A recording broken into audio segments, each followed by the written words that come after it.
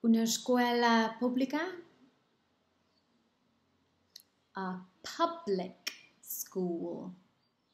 Public school. O una escuela privada. A private school. Private school. Um, martes. Tuesday. Tuesday. Jueves. Thursday. Thursday. Dieta. Diet. Diet. Mm, crudo. Raw.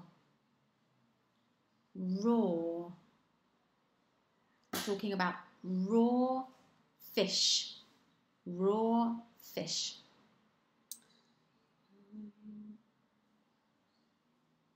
Congelarse. To freeze. Freeze. And also, we discussed some things that you might say if you were supporting a marathon. Like in Spanish, ánimo. Let's say, keep going. Keep going. You're doing great. You're doing great.